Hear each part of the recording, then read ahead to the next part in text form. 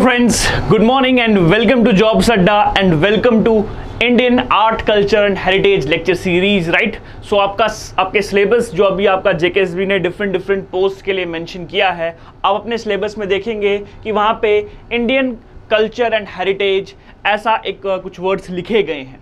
अब जो ये Indian art culture and heritage जो हमारे सिलेबस में मेंशन है जेकेएसबी के डिफरेंट डिफरेंट पोस्ट के लिए उसमें हमें आखिरकार पढ़ना क्या है? कितना पढ़ना है कहाँ से पढ़ना है और क्या पढ़ना है ये हम आज इस इंट्रोडक्शन लेक्चर में डिस्कस करेंगे। So today will be your first introduction lecture for Indian art culture and heritage अगर आप में से किसी ने भी यूपीएससी के एग्ज़ाम का या के के एग्ज़ाम का सिलेबस देखा होगा तो उसमें भी ये Indian art culture and heritage mentioned है राइट सो so, अब जेके वालों को क्या शौक चढ़ा है कि उन्होंने सीधा वही जो पॉइंट्स लिखे हैं सिर्फ़ वही पूरे पूरे उन्होंने यहाँ पे आपके सिलेबस में लिख दिए हैं। टू द कॉपी कर लिया है, एक हिसाब से मैं कहूँगा आपको। लेकिन उसमें क्या पढ़ना है ये मेंशन नहीं है। क्योंकि Indian art culture and heritage खुद में ही एक 700 से 800 पेज का एक पीडीएफ है, एक किताब है। मार्केट में काफ़ी सारी बुक्स अवेलेबल है। बट हमारे एग्ज़ाम पॉइंट ऑफ़ व्यू से हमें क्या पढ़ना है? देखो, मैं अगर आपको इंडियन आर्ट कल्चर हेरिटेज पढ़ा दूँ, मैं आपको पाँच छः सौ पेज लिखवा दूँगा यहाँ पे। पूरा हम लोग डिस्कस कर लेंगे। एक डेढ़ महीना चलता रहेगा और एग्ज़ाम में आपको एक या दो सवाल आएँगे तो आप बोलेंगे कि भाई सर ने पढ़ाया क्या था? Right right? यही बोलोगे ना कि भाई इतना पढ़ा लिया, एक महीने से हमने 40 लेक्चर देख लिए 50 लेक्चर देख लिए और आया कितना? एक सवाल या दो सवाल। क्योंकि आपके जेके एसबी के एग्ज़ाम में जहाँ ये मेंशन है, वहाँ मेंशन क्या है? Indian culture and heritage and freedom struggle movement तो आप एक्सपेक्ट कर सकते हैं कि इस पोर्शन से आपको पेपर में एक या दो सवाल आएँगे इससे ज़्यादा नहीं आएगा राइट आपको इस पोर्शन से एक सवाल आएगा या आपको दो सवाल आएँगे उससे ज़्यादा आप एक्सपेक्ट नहीं कर सकते कि आपको कल्चर हेरिटेज पार्ट से जरा सवाल जेके के एग्ज़ाम में पूछा जाएगा जो भी आपका रिक्रूटमेंट टेस्ट होगा। इसलिए इससे जरा सवाल उसमें बनते नहीं है right but we have to be prepared हम एक, एक मैं आपको क्या बोलूँगा एक जो भी इंपॉर्टेंट टॉपिक्स आपके जेकेएसबी एग्ज़ाम में पूछे जा सकते हैं प्लस जो भी करंट में चल रहे हैं, जो करंट अफेयर्स में चल रहे हैं, उनको हम बड़े अच्छे से, बड़े बारीकी से एक ब्रीफली उनको एक्सप्लेन करके कुछ इन अ फ्यू लेक्चर्स हम इस कल्चर एंड हेरिटेज को खत्म करेंगे राइट जो इंपॉर्टेंट इंपॉर्टेंट टॉपिक्स हैं, उनको हम लोग डिस्कस करेंगे। जो आपका इंडियन आर्ट कल्चर हेरिटेज होता है बेसिकली इसको अगर मैं आज इंट्रोडक्शन लेक्चर में थोड़ा आपको मैं अच्छे से एक्सप्लेन कर लेता हूँ आज कि भाई इसको हम लोग तीन हिस्सों में डिवाइड करते हैं। कितने हिस्सों में? हम अपने आर्ट कल्चर हेरिटेज जो इंडियन आर्ट कल्चर हेरिटेज है, इसको हम लोग तीन हिस्सों में डिवाइड करते हैं राइट सो सबसे पहले हिस्से को हम लोग क्या बोलते हैं? उसको बोलते हैं हम लोग विजुअल आर्ट क्या बोलते हैं? विजुअल आर्ट दूसरे जो इसका हिस्सा है, उसको बोलते हैं परफॉर्मिंग आर्ट एक होता है विजुअल आर्ट एक होता है परफॉर्मिंग आर्ट और थर्ड जो टॉपिक है आपका दैट इज़ मिसलिनियस टॉपिक्स जो मिसलिनियस टॉपिक्स है वो इसके अंडर आते हैं। सो so, हम अपने आर्ट कल्चर और हेरिटेज को तीन हिस्सों में तीन मुख्तलिफ़ हिस्सों में इसको डिवाइड करते हैं। एक आता है visual art second one is performing art और थर्ड इज़ मिसलिनियस टॉपिक्स अब ये विजुअल आर्ट क्या होता है? विजुअल माने जो आप अपनी नेक्ड आई से देखते हैं। आप कहीं किसी किले को देखने चले गए, किसी मंदिर को देखने चले गए, किसी गुरुद्वारा को देखने चले गए, किसी मस्जिद को देखने चले गए तो वहाँ का जो आप देखते हैं बिल्डिंग देखते हैं आर्किटेक्चर देखते हैं, बोलते हैं, भाई, क्या काम किया है इस कारीगर ने? क्या बेहतरीन किस्म की कारीगरी है? है ना? आप जब उसको देखते हैं, उस बिल्डिंग को, ठीक है, उस मोनूमेंट को आप देखते हैं, आप बोलते हैं, क्या बेहतरीन कारीगरी की है? हम जब ताजमहल जाते हैं तो क्या बोलते हैं? वाह, ताज, है ना? कि भाई, क्या बनाया है? ठीक है? कितनी बेहतरीन कारीगरी है right so similarly second one is performing art performing art मतलब जो व्यक्ति उस आर्ट को परफॉर्म करते हैं, जैसे आप गाना गाते हैं, आप डांस करते हैं, आप एक्टिंग करते हैं थिएटर में लोग एक्टिंग करते हैं सर्कस शोज़ होते हैं पपेट्री शोज़ होते हैं तो वो सब क्या है? परफॉर्मिंग आर्ट आप क्या बोलते हैं कि भाई क्या बेहतरीन कलाकारा है? या क्या बेहतरीन अदाकारा है ये? ठीक है? हम ऐसे बोलते हैं कि भाई क्या बेहतरीन एक्टर है एक्ट्रेस है, क्या wonderful he sings wonderfully right कितने अच्छा गाना गाती है ये राइट सो उसको हम लोग रखते हैं परफॉर्मिंग आर्ट में। और थर्ड होता है मिसलिनियस टॉपिक्स जैसे आपका लैंग्वेजेस हो गया रिलीजन हो गया लिटरेचर हो गया न्यूमिस्मैटिक्स हो गया राइट वो सब हम लोग मिसलिनियस टॉपिक्स में रखते हैं। अब हमारे एग्ज़ाम पॉइंट ऑफ़ व्यू से ये भी इसके भी कुछ टॉपिक्स इंपॉर्टेंट है इसके भी कुछ टॉपिक्स इंपॉर्टेंट है और इसके भी कुछ टॉपिक्स इंपॉर्टेंट है। सो so, हमें कुछ इंपॉर्टेंट टॉपिक्स विजुअल आर्ट से भी पढ़ने हैं कुछ यहाँ से भी कुछ यहाँ से भी राइट सो so, अब विजुअल आर्ट में हमें क्या क्या पढ़ना है वो मैं डिस्कस करूँगा आपके साथ राइट हमें विजुअल आर्ट में क्या क्या पढ़ना है?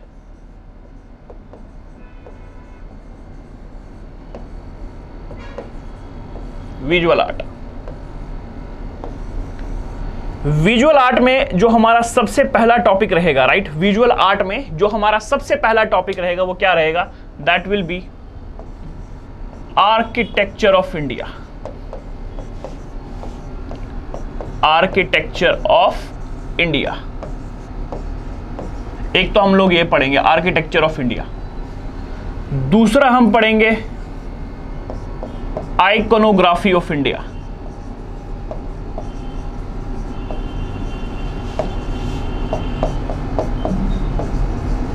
right third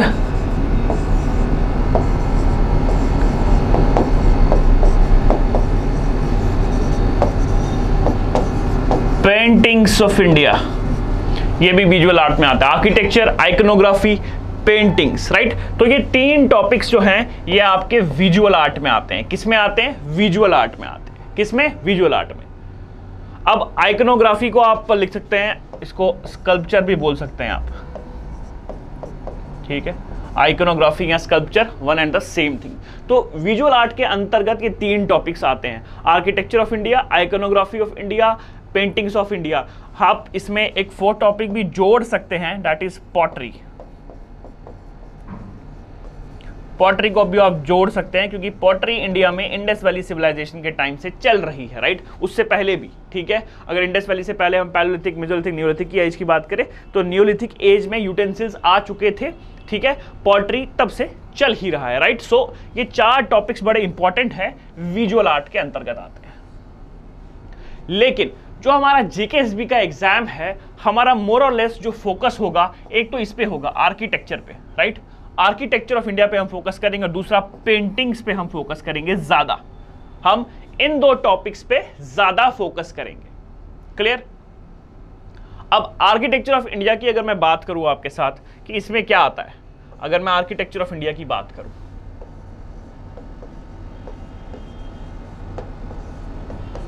हम इसमें क्या क्या पढ़ेंगे आर्किटेक्चर में?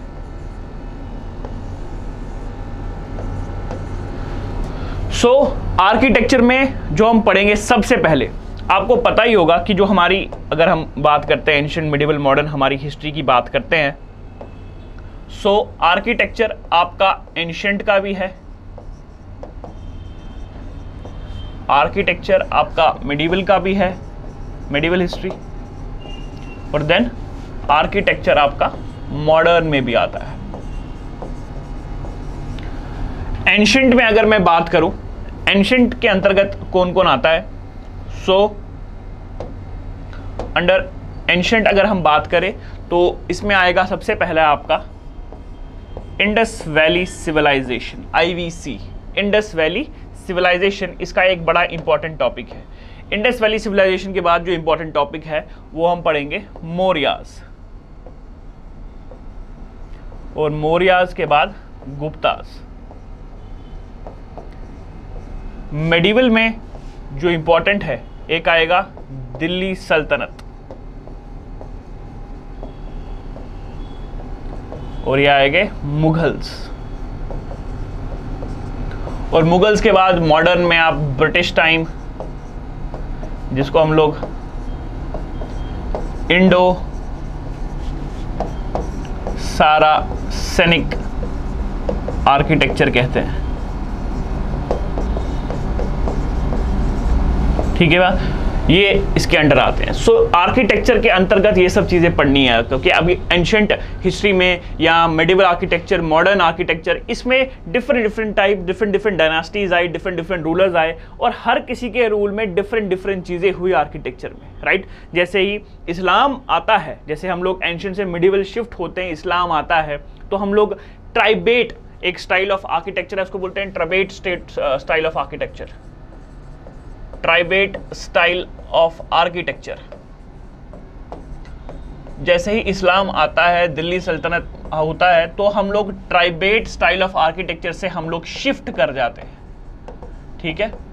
With the coming of Islam with the formation of Delhi सल्तनत चेंजेस हुई आर्किटेक्चर में इंडिया में। उससे पहले हम लोग ये ट्राइबेट स्टाइल ऑफ़ आर्किटेक्चर को फॉलो करते थे। लेकिन जैसे ही मुस्लिम्स का यहाँ पे रूलर्स आए, ज़्यादा दिल्ली सल्तनत का पूरा फॉर्मेशन हुआ, हमने, हम इस ट्राइबेट स्टाइल ऑफ़ आर्किटेक्चर से शिफ्ट हो गए कहाँ पे? हम इससे शिफ्ट हो गए आर्क्यूट स्टाइल ऑफ़ आर्किटेक्चर की तरफ़। मतलब अब हमें अब जो भी मोन्यूमेंट्स देखने को मिलेंगे, उसमें आपको ये आर्क वाला फीचर देखने को मिलेगा। पहले ये आर्क मिसिंग हुआ करता था, ये आर्क्स नहीं थे, ठीक है? पहले trabeate style of architecture normal ऐसा होता था, ठीक है? लाइंस ठीक है? लेकिन आर्क्यूट स्टाइल ऑफ़ आर्किटेक्चर में आपको आर्क्स आपको डोम्स देखने को मिल गए। और जैसे ही आर्क्यूट स्टाइल ऑफ़ आर्किटेक्चर आया तो आपको देखने को मिला कि भाई भारत में भी कंस्ट्रक्शन में अब क्या अब लाइम यूज़ हुए हुए जाने लगा। सैंडस्टोन का इस्तेमाल हुआ मोटार का इस्तेमाल हुआ, जो कि पहले इस्तेमाल नहीं हुआ करता था, अब उसका इस्तेमाल होने लगा। तो with the coming of different different dynasties जैसे जैसे आई हमारा स्टाइल ऑफ़ आर्किटेक्चर भी चेंज होता गया। सो so, ये आर्किटेक्चर जो है it is very very important for exam point of view इसको तो हमें डिस्कस करना ही करना है और बड़े अच्छे से इसको डिस्कस करना है right so this was all about Indian architecture अब आप बात करोगे आइकोनोग्राफी की हम बात करेंगे राइट right? अगर मैं आइकोनोग्राफी की बात करूँ। राइट? आइकोनोग्राफी यानी स्कल्पचर्स आइकोनोग्राफी की बात करते हैं। सो so, आइकोनोग्राफी में भी हमें ये तीनों चीज़ें पढ़नी है। जैसे आइकोनोग्राफी में हम आ, पढ़ेंगे इंडस वैली सिविलाइजेशन में क्या आइकोनोग्राफी थी? ठीक है? इंडस वैली सिविलाइजेशन के बाद हम पढ़ेंगे मौर्यन टाइम पे क्या था? और यहीं पे मोरियन टाइम के बाद जब पोस्ट मोरियन पीरियड आता है तो थ्री स्कूल्स जो डेवलप हुए, उनको पढ़ेंगे। तीन school of sculpture making develop हुए। कितने स्कूल डेवलप हुए? तीन schools of sculpture art developed three schools of sculpture art developed अब ये आपको, ये तीन स्कूल्स कौन से हैं? ये आपको पता होने चाहिए भाई। ये तीन स्कूल्स कौन से हैं? You should know about this तो सबसे पहला स्कूल था क्या? गंदारा आर्ट। या गंदारा स्कूल इसको आप अगला है मथुरा। आर्ट और थर्ड वन इज़ अमरावती। तो ये तीन schools of sculpture art develop हुए भारत में तो इनके बारे में भी हम पढ़ेंगे। गंदारा आर्ट मथुरा आर्ट और अमरावती आर्ट ये तीन हमें पढ़ने हैं ठीक है? बड़े अच्छे से इनको भी पढ़ेंगे। सो so, आईवीसी पढ़ा मोरियन पढ़ा और मोरियन के जब पोस्ट मोरियन पीरियड आता है उसमें तीन three schools of sculpture art develop हुए भारत में उनके बारे में हम पढ़ेंगे। देन इसमें आइकोनोग्राफी में आपका Gupta and post Gupta period भी है। Gupta and post Gupta period और उसके बाद सबसे एंड में मॉडर्न पीरियड। सो आइकोनोग्राफी भी ऐसे ही डिवीज़न है बट इसमें जो सबसे इंपॉर्टेंट है, वो ये चीज़ें हैं। जो ये तीन स्कूल ऑफ़ आर्ट डेवलप हुए गंदारा आर्ट मथुरा आर्ट और अमरावती आर्ट राइट तो ये तीनों आइकोनोग्राफी में डिस्कस करने हैं राइट मैं आपको अभी एक बेसिक सिलेबस बता रहा हूँ कि भाई इंडियन आर्ट कल्चर में आता क्या क्या है राइट उसके बाद मैं आपको ये बताऊँगा कि भाई हमारे एग्ज़ाम पॉइंट ऑफ़ व्यू से इंपॉर्टेंट क्या है। राइट? सो ये भी हमें, अगर आप देखा जाए तो ये भी एक इंपॉर्टेंट टॉपिक है इसमें आइकोनोग्राफी नेक्स्ट आता है आपका इंडियन पेंटिंग्स पेंटिंग्स देखो पेंटिंग्स जो थी, वो इंडस वैली सिविलाइजेशन से ही टाइम हुई। आपको ये बिम्बेटका केव्स बिम्बेटका केव्स है आपके। कहाँ पे है ये? मध्य प्रदेश में। तो यहाँ पे आपको क्या मिलेंगे? केव पेंटिंग्स बिम्बेट का मध्य प्रदेश में आपको केव पेंटिंग्स मिलेंगे। और ये आईवीसी से भी पहले के मतलब जो है, जब अर्ली मैन की हम बात करते हैं, तब के आपके ये केव पेंटिंग्स है वहाँ पे राइट सो पेंटिंग्स में जो इंपॉर्टेंट हमारे एग्ज़ाम पॉइंट ऑफ़ व्यू से है, हम उसमें क्या क्या पढ़ेंगे? एक तो हम पढ़ेंगे मुरल्स यानी जिसको हम लोग मुरल पेंटिंग कहते हैं। इसमें भी रीजनल गुप्ताज के टाइम पे डेवलप हुआ, इसमें भी रीजनल स्कूल्स डेवलप हुए बाद में तो मुरल पेंटिंग पढ़ेंगे। मुगलों के टाइम पे था मिनिएचर पेंटिंग तो ये मिनिएचर पेंटिंग भी हम पढ़ेंगे कि मिनिएचर पेंटिंग क्या क्या था। इसमें क्या क्या डेवलपमेंट्स हुई राइट मुरल पेंटिंग मिनिएचर पेंटिंग देन इसमें हम लोग रीजनल पेंटिंग्स के बारे में भी पढ़ेंगे। रीजनल पेंटिंग्स मुगल्स के जब with the decline of Mughals regional painting school जो थे, वो डेवलप हुए। रीजनल पेंटिंग में जो एक निकल के आया, उसको हम बोलते हैं राजस्थानी। और एक जो निकल के आया, उसको बोलते हैं पहाड़ी। पहाड़ी में दो बने, एक बना बसोली और एक बना Kangra.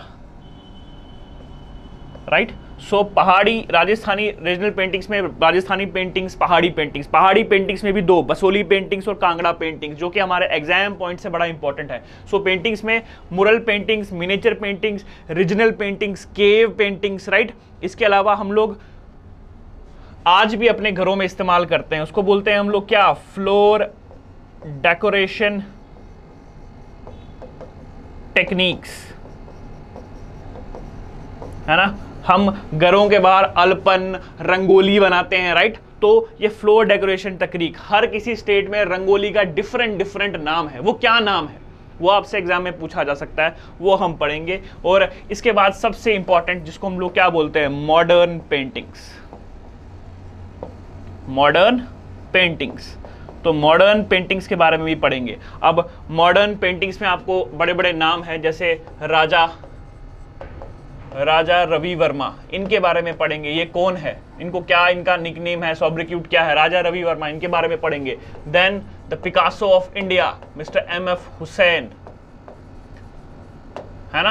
M F Husain M F Husain को क्या बोलते हैं? इनको बोलते हैं Picasso of India right Picasso एक फ़ेमस वर्ल्ड रेनाउंड पेंटर है और M F M F Husain को पिकासो ऑफ़ इंडिया कहा जाता है। क्या कहा जाता है? एम एफ़ हुसैन को पिकासो ऑफ़ इंडिया इनको कहा जाता है। वैसे ही राजा रवि वर्मा को, राजा रवि वर्मा को कहा जाता है Ralph of east R A L P H इनको कहा जाता है Ralph of east R A L P H Ralph of east एक इनको कहा जाता है राजा रवि वर्मा को राइट right? सो so, ये सब इंपॉर्टेंट चीज़ें हैं that is the Indian paintings में हम इन सब चीज़ों को कवर करेंगे। और जैसे ही आर्किटेक्चर इंपॉर्टेंट है similarly this painting is also very very important for our exam point of view क्योंकि इसमें काफ़ी सारे आपके डिफरेंट डिफरेंट रीजनल स्कूल्स जो हैं पेंटिंग से जो डेवलप हुए मुगल्स के टाइम पे बेट गुप्ताज के टाइम पे उनको हमें डिस्कस करना है। और कुछ फ़ेमस पेंटिंग ठीक है?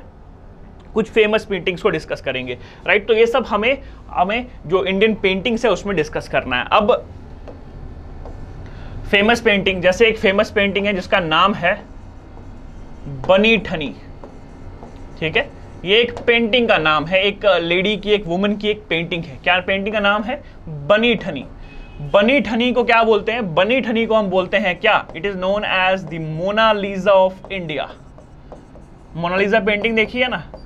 वैसे ही बनी ठनी को बोलते हैं मोनालिजा ऑफ़ इंडिया। क्या बोलते हैं? Mona Lisa of India. So this Bani Thani it is बनी ठनी जो है, वो राजस्थानी, ये राजस्थानी स्कूल ऑफ़ पेंटिंग के अंडर आता है। किसके अंडर आता है? Rajasthani school of painting Bani Thani comes under Rajasthani school of painting right इसको मोनालिजा ऑफ़ इंडिया बोलते हैं। ठीक है? इसको बनाया किसने था? मिस्टर नेक आ, नहीं right just I need to remember this right Bani Thani को बोलते हैं हम लोग मोनालिजा ऑफ़ इंडिया। और अगर आप यूपीएससी का एग्ज़ाम उठाएँगे राइट यूपीएससी का एग्ज़ाम तो उसमें ये सवाल बड़ी बार पूछा गया है। ठीक है? बड़ी बार पूछा गया है कि बनी ठनी जो है ये किसको बिलोंग करती है? सो so, बनी ठनी जो है it is belong to Rajasthani ठीक है?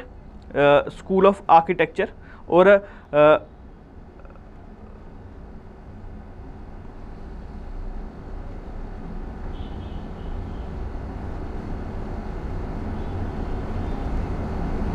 हाँ।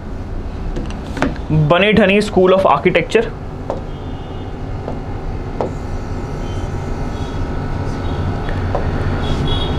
Bani Thani को पेंट पेंटर जो थे इसके पेंटेड बाय निहाल चंद।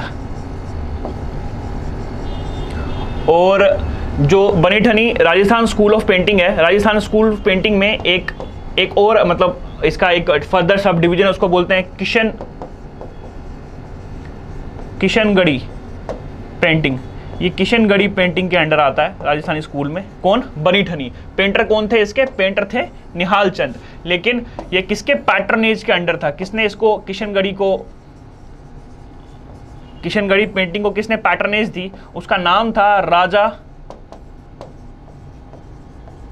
सामंत सिंह। तो ऐसे सवाल आप अपने एग्ज़ाम में एक्सपेक्ट कर सकते हैं कि बनी ठनी को क्या बोलते हैं? बनी ठनी को बोलते हैं मोनालिजा ऑफ़ इंडिया। किसने इसको पेंट किया? इसको पेंट किया निहाल चंद ने। किस स्कूल ऑफ़ थॉट के अंडर आता है? राजस्थानी। राजस्थानी में ये किशनगढ़ी पेंटिंग के आता है। अब किशनगढ़ी पेंटिंग जो स्कूल ऑफ़ पेंटिंग है, इसको किसने पैटर्नेज दी? इसको पेंट इसको पैटर्नेज दी राजा सामंत सिंह ने। किसने पैटर्नेज दी? राजा सामंत सिंह ने।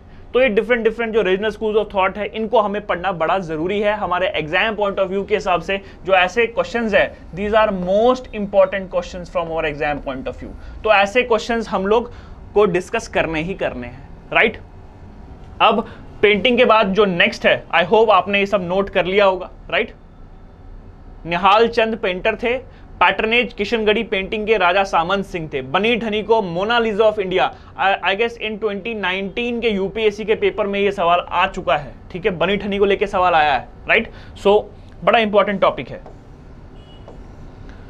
देन हम डिस्कस करेंगे इसके बाद पॉटरी ठीक है? पॉटरी में भी डिफरेंट डिफरेंट चीज़ें हुई। पहले हमारी पॉटरी नॉर्मल होती थी। फिर वो कलर्ड बनने लगी। अब इसमें हम लोग पढ़ेंगे कि भाई आईवीसी में क्या था पॉटरी में? गुप्ता टाइम पे क्या था? ठीक है? मौर्याज के टाइम पे क्या कुछ हुआ, क्या इसमें कि नहीं हुआ? ठीक है?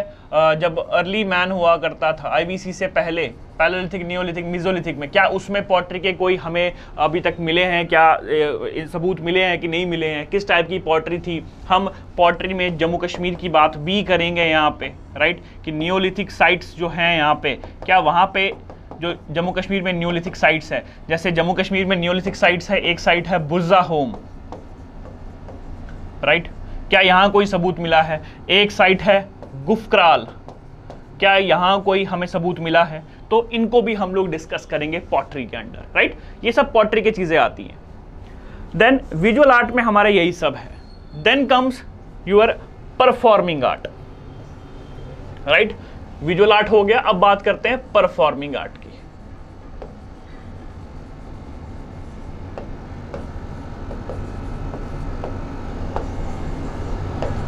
परफॉर्मिंग आर्ट अब परफॉर्मिंग आर्ट में हमें क्या क्या पढ़ना है? तो सबसे पहले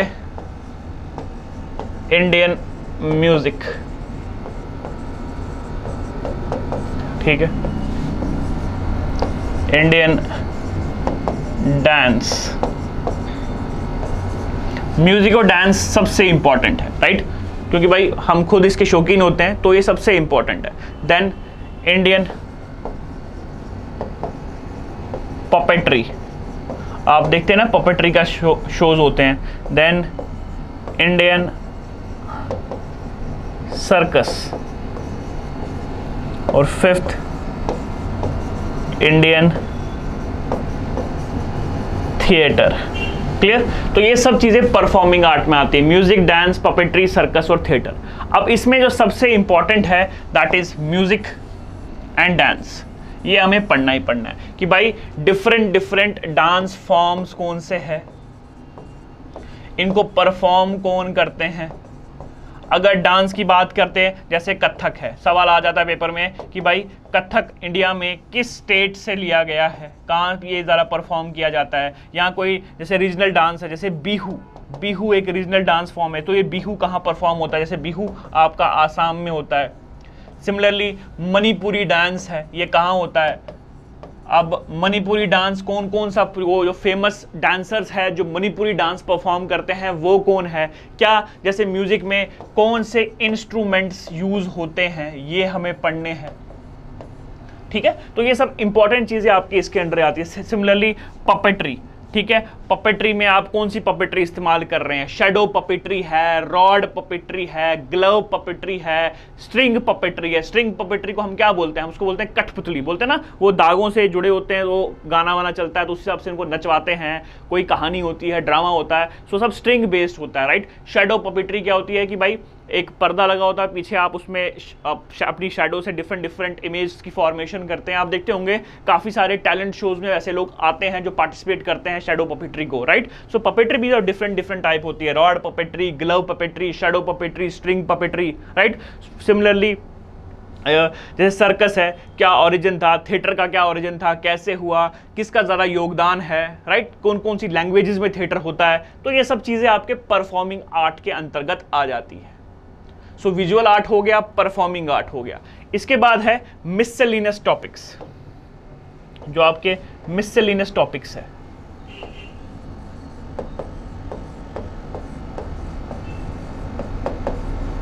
मिसलिनस टॉपिक्स में जो सबसे इंपॉर्टेंट है, सबसे इंपॉर्टेंट नंबर वन पे उसको मैं रखूँगा। उसको हम लोग क्या बोलेंगे? UNESCO UNESCO world heritage sites in India Bharat में कितनी है? तो टोटल करीब करीब 40 साइट्स है भारत में यूनेस्को वर्ल्ड हेरिटेज साइट्स तो इनको हम लोग पढ़ना है। बड़ा इंपॉर्टेंट टॉपिक है यूनेस्को वर्ल्ड हेरिटेज साइट्स का। यूनेस्को वर्ल्ड हेरिटेज साइट के बाद जो सबसे इंपॉर्टेंट है दैट इज़ सिनेमा है ना? सिनेमा ये भी पढ़ना है हमें कि भाई सिनेमा में क्या है? देन रिलीजन रिलीजन फोर्थ हम लोग पढ़ेंगे languages right then fairs and festivals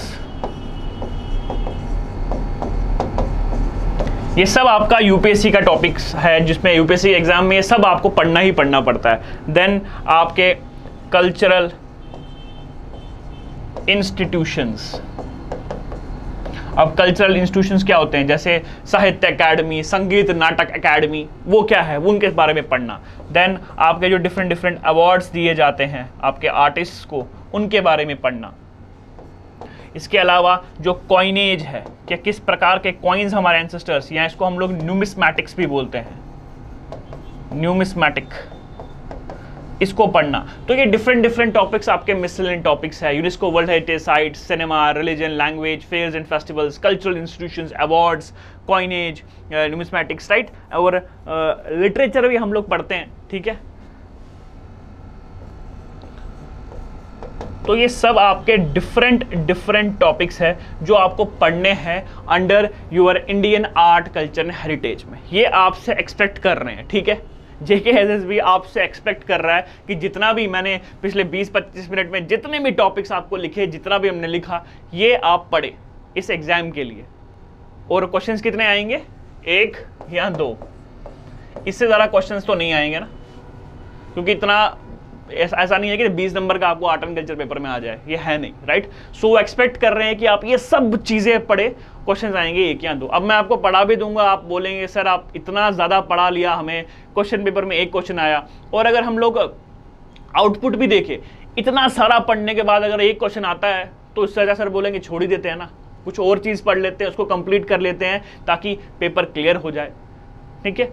तो हमें छोड़ना नहीं है, पहली बात। ठीक है? दो नंबर भी बहुत होते हैं है ना? आजकल आप देखोगे कितना नेक टू नेक कंपटीशन है एक एक पॉइंट पे पाँच पाँच छह छह लोग हैं क्योंकि अभी परसेंटाइल जो है मेथड फॉलो कर रहा है जेके इसमें नेक टू नेक कंपटीशन हो रहा है राइट सो so, आप ये दो क्वेश्चंस भी नहीं छोड़ सकते क्योंकि भाई ये दो क्वेश्चन आपका मेरिट डिसाइड कर सकते हैं। आपका आर या पार इन्हीं दो नंबरों के बेसिस पे हो सकता है। सो so, हमें क्या करना है फॉर जे के एस एग्ज़ाम अगर ये एग्ज़ाम मान लो आप यूपीएससी की तैयारी कर रहे होते या आप के की तैयारी कर रहे होते या किसी और भी आप पी लेवल के एग्ज़ाम की तैयारी कर रहे होते तो जो भी टॉपिक्स मैंने यहाँ पे लिखे आवे ये पढ़ने ही पढ़ने थे। इनका कोई चारा ही नहीं था क्योंकि यूपीएससी के मेंस के एग्ज़ाम में इनमें से सवाल आ जाता है। यूपीएससी के प्रीलिम के एग्ज़ाम में भी आप तीन, चार, पाँच, कितने भी क्वेश्चंस आप एक्सपेक्ट कर सकते हैं आर्ट एंड कल्चर से राइट क्योंकि रिलीजन बड़ा एक इंपॉर्टेंट टॉपिक है। यूपीएससी का हॉट सबसे फेवरेट टॉपिक है रिलीजन होता है। रिलीजन में भी दो रिलीजन बड़े फेवरेट हैं उनके, ठीक है? वो अभी बता देता हूँ, अगर आप में से कोई फ्यूचर में तैयारी करेगा, आप में से फ्यूचर में अगर कोई भी पीएससी लेवल के एग्ज़ाम की तैयारी करेगा तो रिलीजन बड़ा फेवरेट टॉपिक होता है पीएससी का, और रिलीजन में भी दो ही रिलीजन बड़े फेवरेट होते हैं। एक होता है बुद्धिज्म दूसरा होता है जैनिज्म बाकी किसी रिलीजन पे सवाल नहीं पूछते। मोरलेस जेनिज्म से भी फेवरेट बुद्धिज्म है। तो 70 30 60 40 आप करके चल सकते हैं 60 40 कि भाई 60 प्रतिशत क्वेश्चन आने का चांस है कि बुद्धिज्म से ही पूछा जाएगा 40 प्रतिशत चांस है कि जेनिज्म से भी सवाल आएँगे। बट रिलीजन से आपके पेपर में सवाल ज़रूर आएँगे। ये आप एक्सपेक्टेड रखिए रखिए आपके पीएससी लेवल के पेपर में। बट हम पीएससी लेवल की तैयारी नहीं कर रहे। हम तैयारी कर रहे हैं Jammu Kashmir service selection boards के रिक्रूटमेंट टेस्ट की। और उसमें भी केवल एक या दो क्वेश्चन आपके इस कल्चर हेरिटेज से आने वाले हैं। सो हमारे एग्ज़ाम पॉइंट ऑफ़ व्यू से हमें क्या पढ़ना है, वो हम आज मैं आपके साथ डिस्कस करूँगा कि भाई इतने टॉपिक्स हमें पढ़ के जाने ही जाने चाहिए, ताकि हम लोग अगर एक या दो सवाल भी हमारे पेपर में आते हैं तो भाई हम लोग वो अटैम्प्ट कर पाए। हम लोग वो अटैम्प्ट कर पाए, वरना क्या हो जाएगा? लुटिया डूब सकती है हमारी तो लुटिया नहीं डुबानी है, ठीक है? पेपर अच्छे से अटैम्प्ट करना है।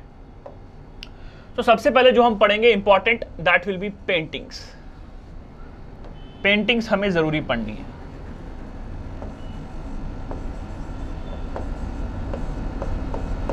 पेंटिंग्स का कोई चारा नहीं है, ये पढ़नी पढ़नी है, ठीक है?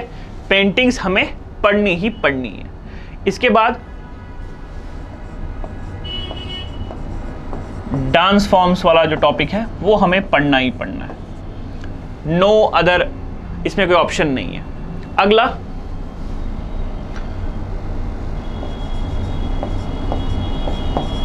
वर्ल्ड हेरिटेज साइट्स ये भी हमें पढ़नी ही पढ़नी है यूनेस्को वाली। मैं लिख देता हूँ। तो ये भी हमें पढ़ना ही पढ़ना है। सो so, एक टॉपिक रहा पेंटिंग्स दूसरा रहा डांस फॉर्म तीसरा रहा world heritage sites fourth Indian architecture. ये बड़ा थोड़ा लेंथी टॉपिक सबसे इसमें यही रहेगा बट इसको भी हमें पढ़ना है इंडियन आर्किटेक्चर को भी। Right right? ये हमें पढ़ना पढ़ना है। Right right? नेक्स्ट जो हम पढ़ेंगे फेयर्स एंड फेस्टिवल्स ये भी बड़े इंपॉर्टेंट है। Fairs and festivals so paintings dance forms world heritage site Indian architecture fairs and festivals right ये हमें पढ़ना है। देन इसके बाद हम जो पढ़ेंगे अवार्ड्स काफ़ी सारे अवार्ड्स दिए जाते हैं। प्लस इसको हम लोग अपने करंट अफेयर्स से भी लिंक करेंगे। किससे लिंक करेंगे? करंट अफेयर्स से। इसको हम अपने करंट अफेयर्स से भी लिंक करेंगे। आप देख लीजिए वर्ल्ड हेरिटेज साइट्स कुछ 40 इन नंबर है। इसको डिस्कस करना है। डांस फॉर्म्स जो है एट इनको प्लस ये नेशनल फिर रीजनल भी पढ़ेंगे। प्लस जम्मू कश्मीर में क्या क्या डांस फॉर्म्स है? क्योंकि पेपर तो हम यहाँ का दे रहे हैं ना तो ये पढ़ना ज़रूरी है। पेंटिंग्स में हम, जो हमारा मेन फोकस रहेगा, वो रहेगा मुरल्स पे प्लस मिनिएचर पेंटिंग्स पे। और प्लस रीजनल पेंटिंग्स पे। प्लस फ्लोर डेकोर टेक्निक्स पे। इंडियन आर्किटेक्चर में आपको एक्सप्लेन कर चुका हूँ। फेयर फेस्टिवल्स हम लोग इंडिया के तो डिस्कस करेंगे ही करेंगे। प्लस हमारा मेजर फोकस रहेगा जम्मू कश्मीर के फेयर फेस्टिवल जैसे आपके जम्मू लद्दाख में एक फेस्टिवल होता है लोसर। तो लोसर कहाँ सेलिब्रेट करता है? कौन सी कम्युनिटी करती है? वो हम पढ़ेंगे। जैसे आपका फेस्ट एक फेयर मुहर्रम होता है। मुहर्रम क्यों होता है? क्या होता है? इसको डिस्कस करना है। फिर आपका दिवाली आ गया। क्यों होता है? क्या होता है? जैसे आपका मेला बहु फोर्ट होता है यहाँ पे। फेयर है ना? मेला बहु फोर्ट। जम्मू डिवीज़न में छुट्टी भी होती है मेला बहु फोर्ट के दिन। तो क्या होता है इस दिन? क्यों मनाया जाता है? ठीक है? आपका Jhiri Mela one of the famous tourist attraction in Jammu, Jhiri Mela. ठीक है? तो इसके बारे में पढ़ना है। तो ये सब चीज़ें हम लोग यहाँ पढ़ेंगे। प्लस अवार्ड्स अगर किसी को अवार्ड कोई दिया गया है, साहित्य अकादमी अवार्ड जम्मू कश्मीर से प्रोमिनेंटली किसी को दिया गया है पास्ट में या अभी कुछ हाल फ़िलहाल चार पाँच सालों में तो उसको हम लोग डिस्कस करेंगे। और कोई अगर करंट अफेयर्स में art and culture related topics हैं, उनको भी हम लोग डिस्कस करेंगे। सो जेके एस के एग्ज़ाम के लिए ये सब टॉपिक्स बड़े इंपॉर्टेंट हैं। ऑल आर इंपॉर्टेंट इन्हीं टॉपिक्स में से आप अपने एक, दो, या ज़्यादा मेहरबान आप पे जेके होगी तो तीन सवाल आप यहीं से एक्सपेक्ट कर सकते हैं राइट सो इन्हीं टॉपिक्स को हमें पढ़ना है। छः सात टॉपिक्स मैंने लिखे। सो अराउंड आठ, दस लेक्चर्स में हम इसको ख़त्म करने का कोशिश करेंगे। कम में हो गया, ज़्यादा अच्छी बात है, ज़्यादा लग गए, वो भी देख लेंगे। बट हाँ इसको इसको हम ले हम आने वाले हफ़्ता, दस दिन में हम इसको ख़त्म करने की कोशिश करेंगे किसको? आपके इंडियन आर्ट कल्चर हेरिटेज को। अब आशिक सर ने मुझे बताया कि लैंग्वेजेस जैसे एक टॉपिक है तो लैंग्वेजेस का टॉपिक ऑलरेडी किसी सर ने आपके साथ डिस्कस किया हुआ है। So I want discuss that उसके अलावा जो भी टॉपिक्स मैंने मेंशन किए हैं अभी जो आपकी स्क्रीन पे आप देख सकते हैं, जो मैंने ब्लैक कलर से लिखे हुए हैं तो ये सब टॉपिक्स मैं आपके साथ डिस्कस करने वाला हूँ वन बाय वन अब आप बोलेंगे, सर, आपने पहले पूरा सिलेबस लिख दिया, आप सिर्फ़ इतने ही टॉपिक्स पढ़ा रहे हैं, वो क्यों पढ़ा रहे हैं? तो मैं फिर से आपको लिख दूँ, वो मैंने आपको इसलिए बताया कि भाई, वो पूरा सिलेबस आपका यूपीएससी का है। अगर आप वो पूरा सिलेबस पढ़ के जाते हैं एग्ज़ाम के लिए हाँ आपके सवाल आएँगे बट अगर हम आउटपुट इनपुट आउटपुट रेशियो की बात करें एग्ज़ाम के लिए, उतना सारा पढ़ने की आवश्यकता नहीं है। क्योंकि अगर आप वो पढ़ लेंगे, वो अराउंड कम से कम कब 400-500 पेजेस बन जाएँगे, इतने नोट्स हो जाएँगे वो। और अगर आपको 500 पेज पढ़ना है, उसके बाद आपको एक सवाल या दो सवाल पेपर में आते हैं सो उसके वर्थ नहीं मैं मानूँगा। इसलिए आप कुछ सिलेक्टेड टॉपिक्स पढ़िए इंपॉर्टेंट टॉपिक्स पढ़िए, जिनसे श्योर शॉर्ट सवाल आने के चांसेस ज़्यादा हैं। जैसे डांस फॉर्म से सवाल पूछा जाता है कि कथक किस स्टेट में होता है, कथकली कहाँ होता है, भरतनाट्यम कौन होता है क्या भरतनाट्यम मेल और फीमेल दोनों परफॉर्म करते हैं? मेजर कौन कौन से डांसर्स हैं जो भरतनाट्यम परफॉर्म करते हैं? तो ये सवाल पेपर में आते रहते हैं राइट सो हम लोग इन्हीं पर ज़्यादा टारगेट करेंगे। आर्किटेक्चर पे इसलिए टारगेट ज़्यादा कर रहे हैं क्योंकि बड़े बड़े मोनूमेंट्स बिल्डिंग्स बनाए गए हैं। किसने बनाए हैं? कब बनाया है? क्यों बनाया? किसके लिए बनाया? तो वो बड़ा इंपॉर्टेंट बन जाता है हमारे एग्ज़ाम पॉइंट से। राइट सो ये सब टॉपिक्स वन बाय वन करके हम करेंगे। मैं फिर से एक बार बताता हूँ कौन कौन सा टॉपिक्स हमें पढ़ना है अपने एग्ज़ाम के लिए। तो सबसे पहले हम इंडियन पेंटिंग्स को पढ़ेंगे इंडियन डांस फॉर्म्स को पढ़ेंगे UNESCO world heritage sites in India को हम डिस्कस करेंगे इंडियन आर्किटेक्चर को डिस्कस करेंगे फेयर्स एंड फेस्टिवल्स को डिस्कस करेंगे। इंडिया जम्मू कश्मीर दोनों हमारा टारगेट पर रहेगा और अवार्ड्स जो रिसेंटली दिए गए हैं या पहले भी जम्मू कश्मीर से किसी प्रोमिनेंट पर्सनालिटीज को, आपके परफॉर्मिंग आर्ट्स में उनको डिस्कस करेंगे और करंट अफेयर्स में अगर कुछ इंपॉर्टेंट हुआ है। जैसे यूनेस्को वर्ल्ड हेरिटेज साइट 2020 तक के 38 ही हुआ करती थी।